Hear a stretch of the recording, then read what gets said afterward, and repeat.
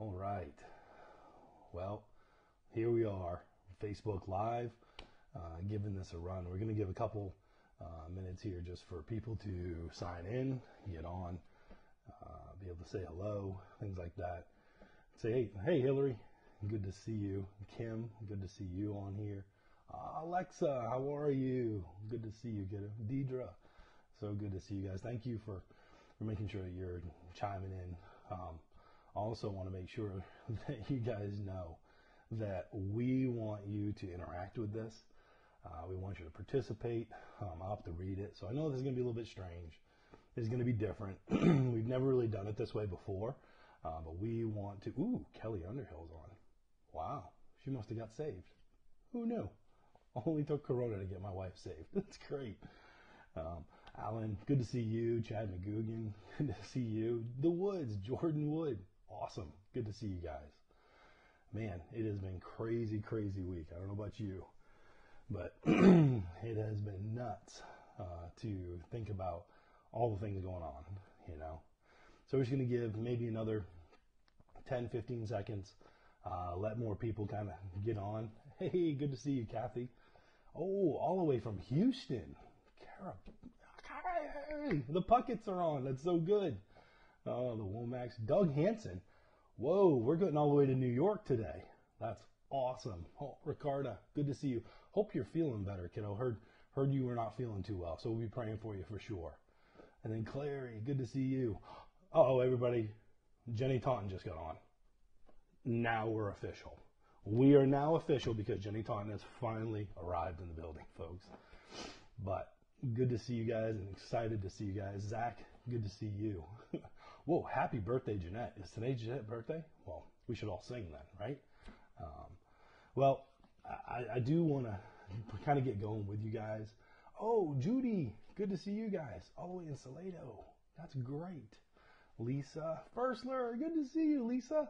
Ben, that's good, good. Tom Taylor. How many guys that cardboard cutout scared the living daylights out of you guys, right? At church? It jumped me so many times, it was crazy.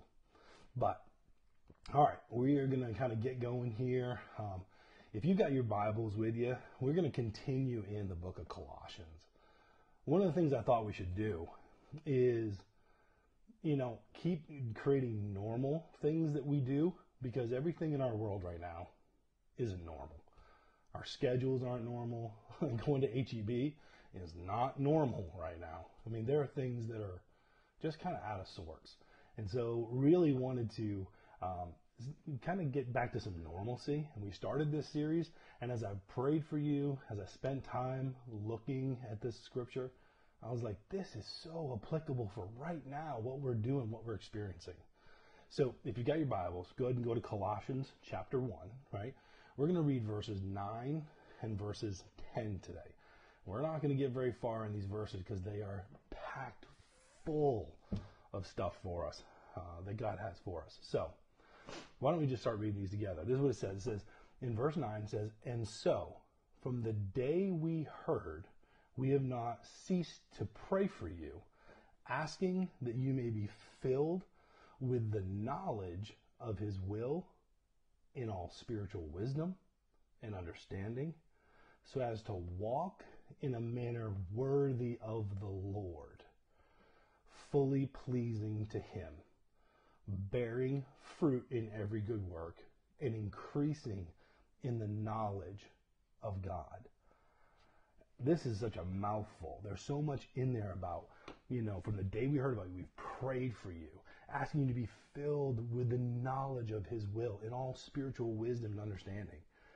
And that those are some big words. I don't know for you, a lot of people get very intimidated about God's will for them. What's God's will? What does He want me to do? How does He How does He want me to engage? What does He want me to do? Well, understand this. We, we talked about this a little bit the last Sunday that we were together, and it said, you know, knowing God's will and the know the knowledge of His will is really the ability to see things from His perspective. How does God see this? And so when you think about what we're experiencing today, how does God view this? Now, there's the age old question of how could God let this happen? Whoa, whoa, whoa. This is not a this is not a God problem. Okay. This is a sin and brokenness problem that starts all the way back in the Garden of Eden. God doesn't want this stuff. God doesn't like disease. God does not like uh, people that are suffering and being isolated and quarantined. In fact, it was man's decision, okay, our sin, our own selfishness that got us into this mix. So it's not God at all. In fact, it's kind of a consequence of our own actions.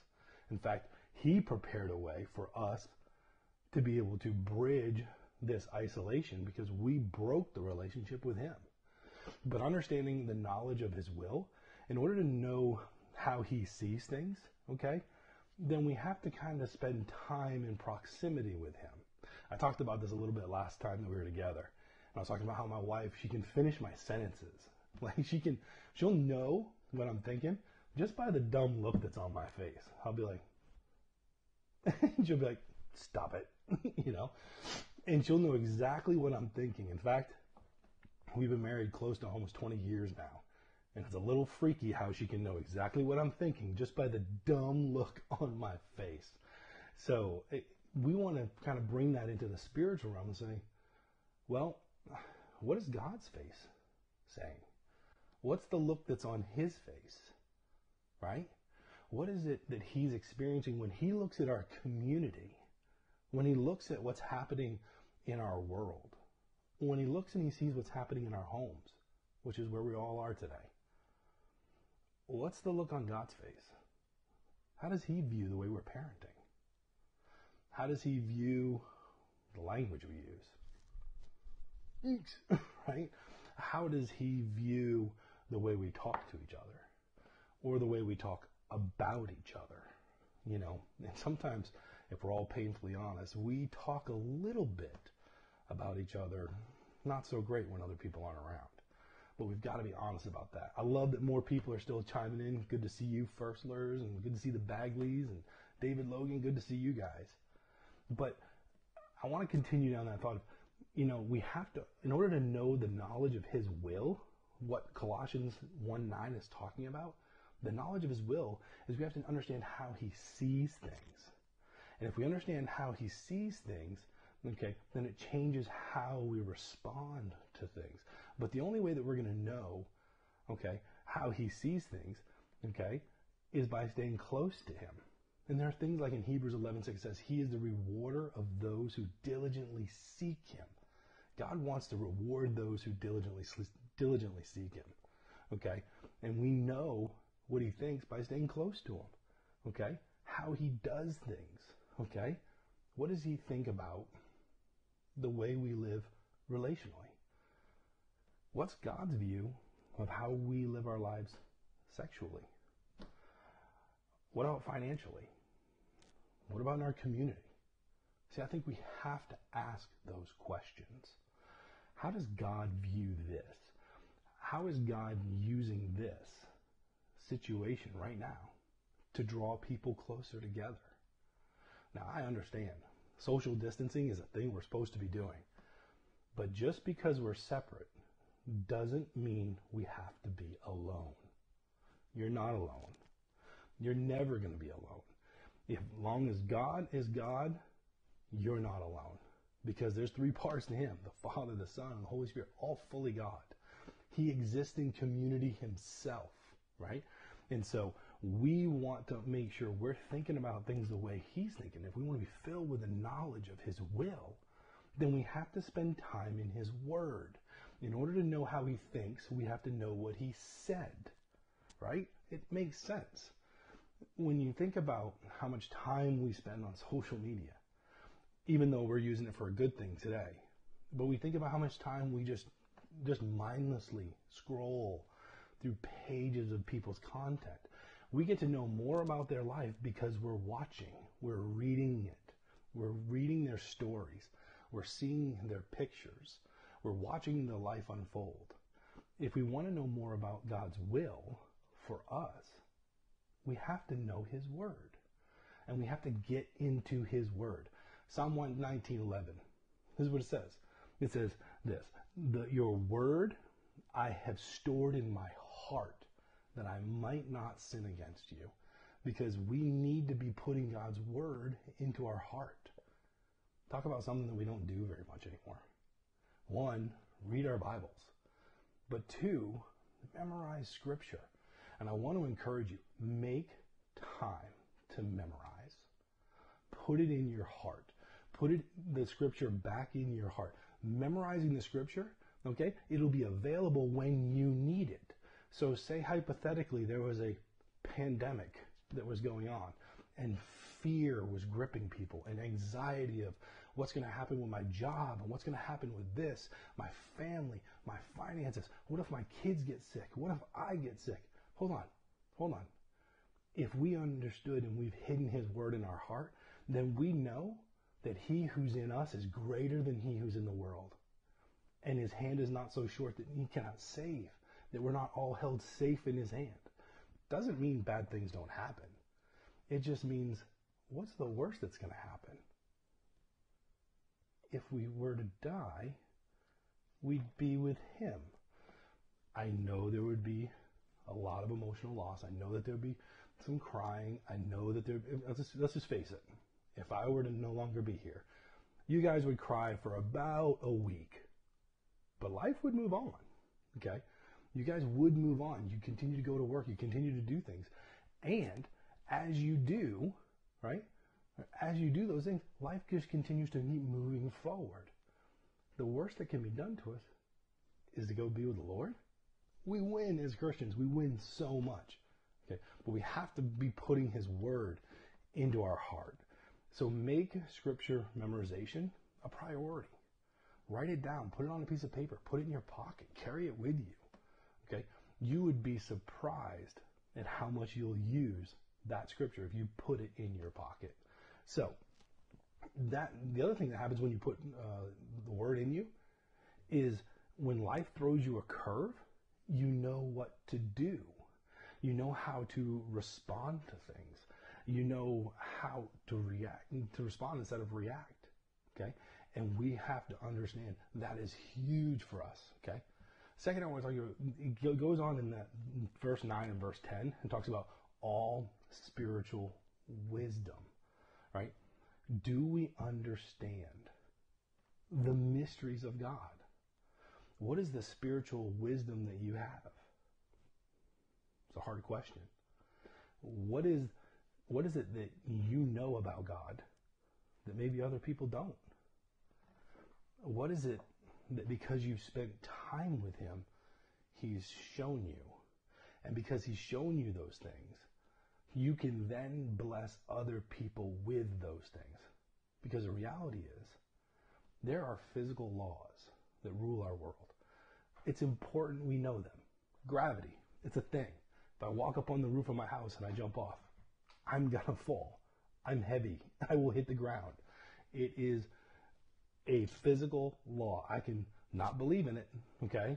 Well, for me, I don't think it's true. Mm, you're gonna fall, bro. You're gonna bust your butt, okay? those are physical laws. Just as much as there are physical laws, there are spiritual laws.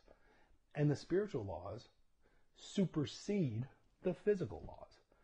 How do we know? Think about your Bible for a minute. The Red Sea, when Moses goes in and God parts it, water shouldn't just be standing up for no reason unless the supernatural got engaged. Why did he get engaged? because they were seeking his will, because they were obeying his word. They were walking out what he had called them to be. Cornerstone family, do you see what I'm getting at here? Like there's things we need to be doing. There are things we need to be being, right? So that that way God can accomplish what he wants to do on this earth by setting other people free. Okay? And he wants to use you and me to do it. In fact, in Proverbs 25 2, this is what it says. It says, It is the glory of God to conceal things, but the glory of kings to search it out. In other words, everything's not easy. Sometimes God hides little mysteries. It's kind of like playing hide and seek, right? I play hide and seek sometimes, or I chase Eden. Eden is my seven year old, right? Now, obviously, I could hide from her, right, and make her not find me. However, it's more of the relationship that's built in us being together and her chasing it and me finding her and the beauty of what's happening relationally in that moment. Okay. And God is showing us here that He's like, look, there are some things that are hidden mysteries in this world. And it's your glory to search them out. And the way you search them out is spending time in His Word, spending time looking for Him. Okay. So that, that way, when curveballs come, they don't derail us. We're prepared and we know how to respond to them instead of just react out of fear. Okay? So choose to respond, not to react. Okay? Would be a good thing to do. Also, choose to be prepared, not scared. Right? So many people in this moment are so scared about what's going to happen. We don't have to be scared about those things. Now, get some Clorox wipes. We need to obey the authorities that are around us, okay? That are telling us stay inside. If you don't have to go anywhere, don't. You know, use some hand sanitizer. Wash your hands. We even posted this. Such a great thing. I saw Janet Valentin posted this on her social media about washing your hands and saying the Lord's Prayer. That's the exact amount of time you should be washing your hands. Saying, Our Father who art in heaven, hallowed be thy name. Thy kingdom come. Thy will be done on earth as it is in heaven it's been a great habit that I've put into play in my life. I love it. And God told us this is the way we should be praying. See, it eliminates the fear because we're focusing on our faith. Focus on your faith, not on fear. Because fear is a nasty, unrelenting, absolutely exhausting, cyclical thing that goes around and around and you'll just spiral into this abyss of fear. Okay? You don't need to be afraid at this moment. In fact, we should be prepared. In fact, the scripture tells us based on biblical principles what we should be doing. I love all you guys that are on here and you're commenting. It is so great. I want to show you. Uh, we're going to keep going and going in here with this, but man, so good to see the Stapletons, the Womacks. Oh, so good to see Jamie Bailey in here. But look at this, ready? Acts chapter 2 talks about being connected. And if we commit ourselves to being connected to each other, right? Again, we're separate, but we're not alone. We're separating, okay? This I don't even want to use the words, oh, we're isolated. No, we're not isolated. We're probably spending more time with our family than we have in a long time. And our family probably needs it. I know mine did. I don't have it all figured out. I'm not doing it perfectly, but I can tell you this much. We've played more cards lately than ever. We've hung out with each other. I've had more conversations with my kids in the past two weeks than probably the past two months. Right? God is doing something really special. And this connection is really critical. So go I'm going to read this to you at Acts 2:42. It says this, they devoted themselves to the apostles' teaching and to fellowship, to breaking of bread and prayers and awe came upon every soul, and many wonders and signs were being done through the apostles. And all who believed together had all things in common. They were selling their possessions and belongings and distributing them in the proceeds to all, as to any who had need. And day by day, day by day, attending the temple together and breaking bread in their homes, they received their food with glad hearts and generous hearts. They were praising God having favor with all people, and the Lord added to their number day by day those who were being saved. Here's what the early church did, guys. They got together. They hung out with each other. Now, right now, that's a little bit difficult. But maybe we need to get back to the basics. Maybe some of the things that got us to where we are today, one of the greatest nations ever, were biblical values. And maybe God would love to encourage us in this moment to go back to the fundamentals, to go back to being together with each other. Because at the end of the day, a lot of our distractions right now are slowly dwindling. We can't just go anywhere we want. We can't just do whatever we want. But if we focus ourselves on what this Acts 242 through 47 says, Let's see at the net result of what happened when they did these things. They said there was unity, Do we need more unity in our community today? We need unity for the community, right? It's even part of the word, guys. See what's going on there? Provision. God provided for them when they put themselves in a position to be blessed. He provided. They sacrificed. Instead of going to the store and stealing toilet paper out of somebody else's grocery cart, maybe give somebody some rolls of yours. Given it will be given unto you, right? Pressed down, shaken together, overflowing. Not steal and get yours so that that way nobody can get you. No, no, no, no. We should be the exact people that are blessing others right now. It's a dark time right now for a lot of people. And the church is the hope of the world. Christians are a light, okay? Don't hide your light under a bushel. No, let it shine. Where does light shine brightest? In darkness. So we should be in some of those dark places. You see, I think too many times we as Christians, we try to just get together and have a big candle party, which right now we can't do that together. Maybe we should shine some light in some areas where people are really struggling. I had an awesome dude in my church. They're online watching. Jordan Wood, everybody. Everybody give a shout out to Jordan Wood. Watch this story about Jordan. He's been calling me this week. You know what his biggest frustration has been? He wants to go feed the homeless. He tried to go to McDonald's and order 200 cheeseburgers. And he called me because he was He's like, Dan, I just can't get it done. I'm like, well, what are you trying to do, dude? He goes, I want to go down to Abbeville. The homeless right now, Who's thinking about those guys? He goes, I was on my heart and I want to do this. I want to get into this, right? I want to, I want to, I want to, help these people. And here's what's happening. He goes, I tried to get in the drive up. There was like 48 people. Then when I got there, they couldn't service my order. So I tried to call them ahead and order it ahead. He goes, I tried calling for three hours. He tried calling McDonald's for three hours and they wouldn't pick up the phone. Talk about great. Talk about a guy I'm glad's in my church. Talk about a guy who's living it out. He's not perfect. He's probably a little embarrassed. I'm telling this story right now. But you know what? I want to promote positive behavior. I want to promote when people are doing something that is trying to help the community. He went and bought bread and peanut butter sandwiches yesterday and said, we'll just make sandwiches and go hand them out. Good for him. This is the exact moment when the church needs to mobilize. The church needs to be looking in their community. How do we go help? We're not scared. Take precautions. Do what you should do. Obey the laws of the land. Understand authority. Yes, for sure. But we should be helping people. We should be in moments right now. We should be the most creative. Ready? The church should be the most creative place on the planet. We have connection to the King of Kings and the Lord of Lords, the creator of everything. Talk about the most creative dude ever. God, right? He created everything. So we should be being just as creative, finding solutions. And when we commit ourselves to each other in that connection that we're talking about out of Acts 2, right? He provided because people were seeking him. They were praying. It created community, generosity, like I was talking about Jordan. Praise and worship came out of it. More people got saved. That's the net result.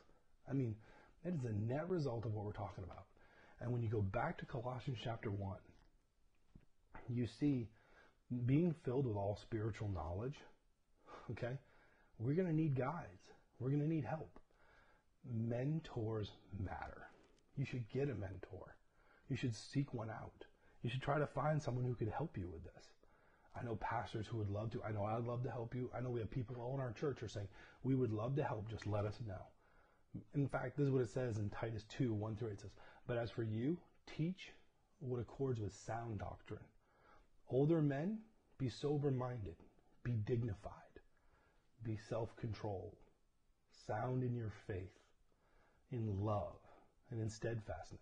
Older women likewise be reverent in behavior, not slanderers, not slaves to too much wine. Okay?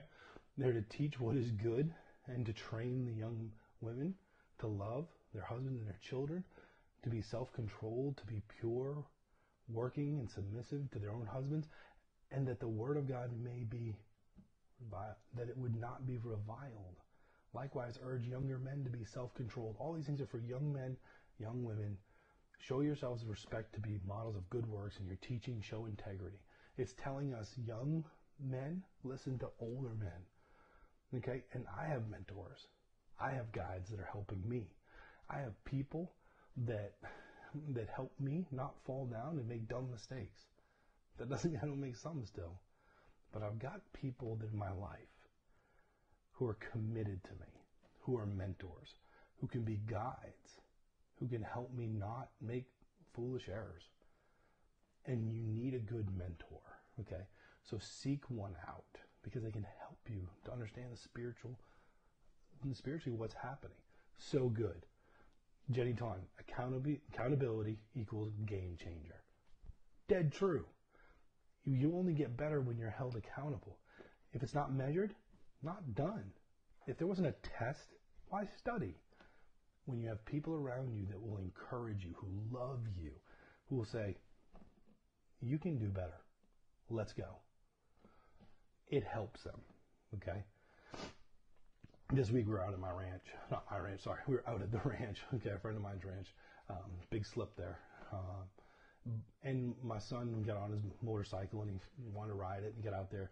Kind of right out of the gate, he gets going, right? And he does a, kind of hop onto a little concrete pad and he just, the wheel kind of wobbles a little bit. Boom, face plants over, falls on his wrist, right? He kind of breaks the front brake lever. Lots of tears happening. Okay. You know, we've all been there. We've all made these mistakes, right? And I walk up and here's a, here's a great story of a failure as a dad. I'm like, you all right? You okay, bro? All right, get up. Let's go. Get back on the bike. Tears, sobbing, trying to pull the helmet off. I can't breathe, Dad. I can't breathe. I'm like, get back on the bike. You know, my wrist, I can't feel my wrist. It hurts. It hurts. It hurts. It hurts. And I'm like, oh, dude. I got so frustrated. I'm like, fine, go in the house and cry about it. So you got to get back on this bike and get going. I totally failed in this moment. Okay, this is this is not an encouraging story, right? Where I'm like, I led with integrity and I loved him the right way.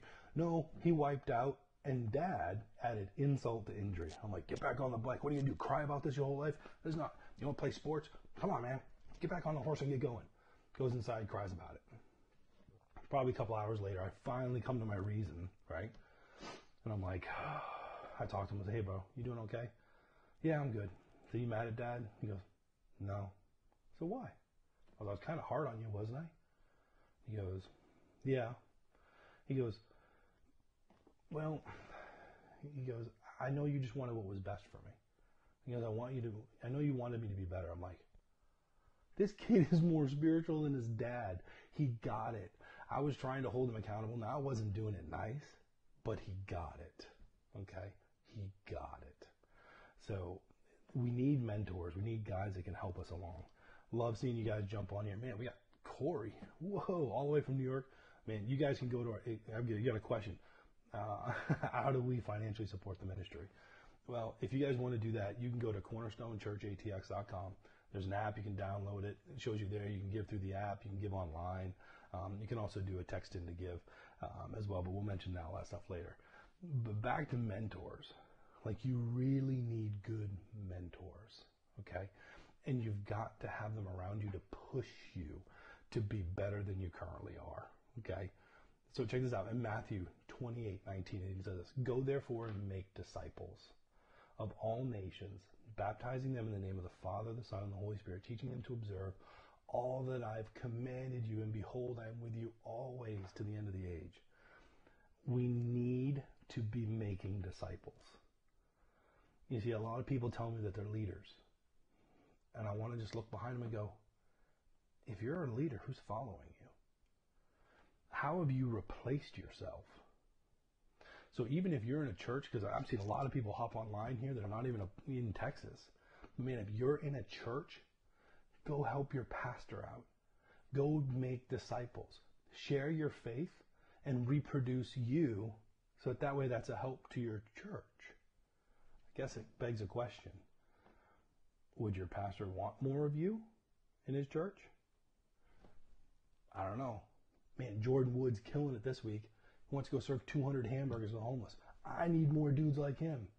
I want him reproducing himself in five more dudes because that'd be more people that are helping the homeless. That's awesome. But we've got to be about discipleship making, not just getting together to check the box of church. In fact, guys, it's a little difficult right now, guys, for us to check the box of church, right? We, have got to get in, invested. We've got to do something. That segues perfect into what it says in verse 10 walk worthy of the Lord. Walking worthy. What does that mean? Okay, is there anything we can do to earn God's favor? No. At the end of the day, it's by grace through faith alone in Jesus Christ. End of story. Okay? But there are certain things that we can do when we work worthy of the Lord, pleasing Him. If you go back to verse 9, I'll read it again, or 10 says, So walk worthy in a manner worthy of the Lord, fully pleasing Him. Then it tells us, bearing fruit in every good work and increasing in the knowledge of God. So when we increase our knowledge of God and we bear fruit, we are pleasing God. We are doing things for Him. Okay? We're not doing Him favors. It's not like He needs us, but we get to partner with the Lord. And when we do, it's incredible what can happen. Okay? But in order to please Him, bear fruit. Do the things that He asks us to do. If you want to know how God feels about people that are supposed to be bearing fruit and they don't, or things that should bear fruit and don't, read Mark 11. There was a fig tree walked by, and the fig tree didn't have fruit. The tree wasn't doing what it was designed to do. So, what happened to it? Your Bible. Don't be mad at me. It's your word. It's our Bible. It's God's word. We should be bearing fruit. And when people look at our lives, we know that we're going to get the end of our lives and we're going to be measured by our fruit. You can measure anything by its fruit. If I walk up to a tree and I see apples on it, I know it's a apple tree. When people walk up to your life, what do they see? They see more Jesus. Do they see compassion? Do they see empathy? Do they see humility? That's a hard one. Do they see generosity? Do they see the marks of our Savior in the way we work and we worship? Our commitments, our standards. How do we make choices? See, we're, I'll speak right to it right? Financially, this is a very weird time. I had a gentleman call me in our church and he said, man, I got a 20%, you know, decrease. Because, but you know what? At least I've got my job. I was like, you nailed it, bro. You nailed it. James 1, rejoice when you face trials of many kinds, knowing that the testing of your faith works perseverance. You strengthen the muscles when things are tough. Nobody's looking for a bad time, but it's in the hard times that we get stronger, that we get grittier, that we get more intense and focused on the message. We get intense and we get focused on the mission that God's given us. And we've got to get after those things because it matters. There are people now who need more of Jesus than ever. And it's not a time for the church to be quiet. In fact, the church is not a building, everybody. It's not. It's not flashing lights. It's not even worship songs. It's the called out ones, the ecclesia, the called out ones who love him and are doing what he says, bearing fruit. People need to be bearing fruit. What's one of the ways we can bear fruit? What is one of the things that please the Lord? When people repent. Not a lot of talk about this right now. There's a lot of talk about we got to come together as a church, which is true. Come together as a church. But man, think about what Chronicles says. Everyone's quoting the verses all over social media. If my people repent, turn from doing their own things, seek my face, I will hear their prayer and I will heal their land. Talk about what we need right now. We need healing in our land. We need healing in homes. We need healing in marriages. We need healing in relationships. but we've got to repent. In other words, I'm walking this way. Repent is turning 180 degrees and walking this way. And we've got to be different. We've got to change what we're doing. If we don't want to see the same result over and over and over again, we've got to change what we're doing. And we've been given a divine reset. We've been given an opportunity to stay home, to focus on what matters, and to get into His Word and find out what do you think about this and what do you want me to do about this? What's my role in this? Do I go push carts at HEB, God's greatest grocery store, because they're working so hard in there to restock shelves that we can put the carts back for them? Well, what if I get sick? What? Wow. First, wear gloves. Second, take Clorox wipes. Third, God's good enough to keep your eternity in his hand, but he can't keep your health in his hand? Come on, man. We got to believe better than that. We got to be doing better than that. We can get after this, okay? We can be light and we can be hope and we can be encouragement in these moments, okay? But we've got to tell the truth in love. We got to start saying what the scripture says. Because in times like this, talk about people need truth.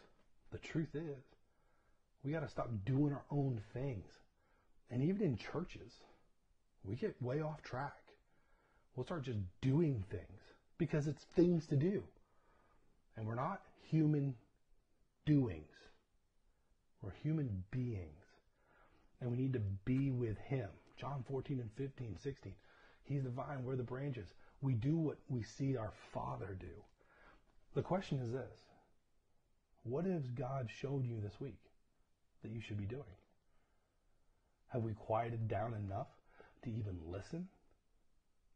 Have we spent time trying to hear from Him? Have we spent the time to go, God, what do you want me to do on my street? I know what I'm going to end up doing on my street. I'm going to go six feet, six feet distance, no big deal. But I'm just going to ring on their doorbells and just check in on them and say, hey, I'm praying for you. If there's anything you need, let us know. My house is right down here. You want to know why? Because they're my neighbors. And they might need help. And maybe now is a good time to let them know I'm praying for them. Maybe my neighbors need to know there's a pastor that lives on their block. Because we live in suburbs where we're three feet from each other, but we couldn't be more apart.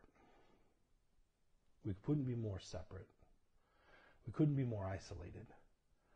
And it's time for the church to rise up and do what God's called us to do. Here's what it says in Matthew 25. It says, Then the king will say to those on his right, Come, you who are blessed by my Father, inherit the kingdom prepared for you by the foundations of the world. For I was hungry and you gave me food. I was thirsty and you gave me drink. I was a stranger and you welcomed me. I was naked and you clothed me. I was sick and you visited me. I was in prison and you came to me. Then the righteous will answer Jesus, saying, Lord, when did we see you hungry? When did we feed you? When were you thirsty and we gave you drink? And when did, were you in prison and we visited you? And the king will answer them and say, Truly, as you've done it to the least of these, my brothers, you've done it to me. Church, it's time. It's time. It's time for us to rise up. It's time for us to be in the community. Now, obey the authorities of the land. But be light, be blessing.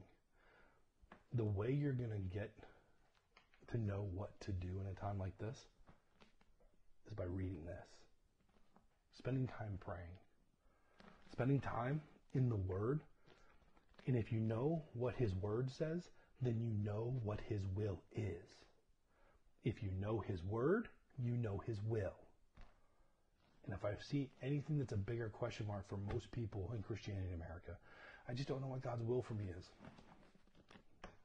66 books written full of it, pages waiting to be read, time in prayer, time with Him, time reading, sacrificing, giving, preparing people for what God wants to do. We love you guys. thank you guys for joining us. Sorry about that. Um, glad you guys joined us. All my Aggie friends. Um, glad you guys are here. We appreciate you. We love you. We are praying for you. If you need anything, please reach out. Let us know. We want to be a help. Um, we want to be a guide. We want to help right now. We're not sure how long that we're going to be doing this digitally, but for right now, this is what we're doing. Okay. Um, people in the church will be reaching out to you, uh, being able to give you a little bit more uh, information about how we're going to be doing things. And again, earlier somebody asked this question. Uh, if you want to go to Cornerstone Church, atx.com, you can give help. You know, help be faithful.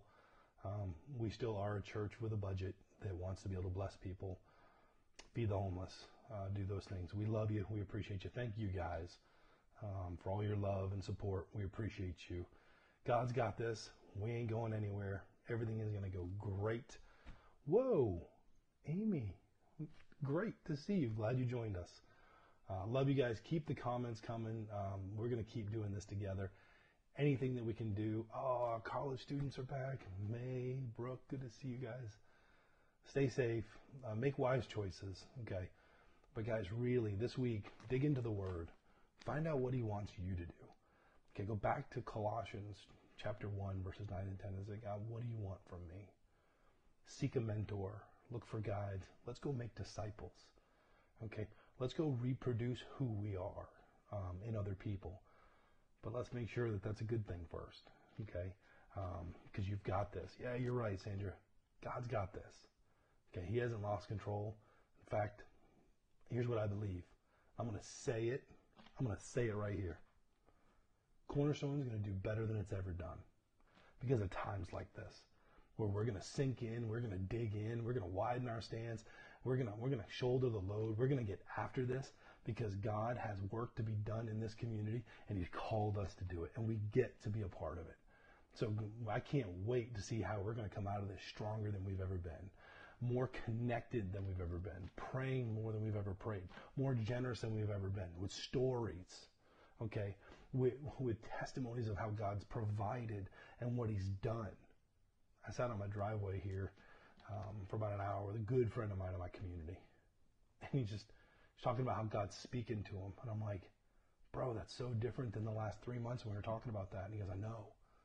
God is doing so much. This is a time where God is going to do so much in our hearts and our lives. And I'm glad we get to do it together. I love you guys.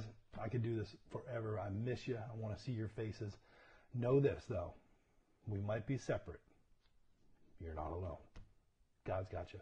Love you. Appreciate you. You guys enjoy your day.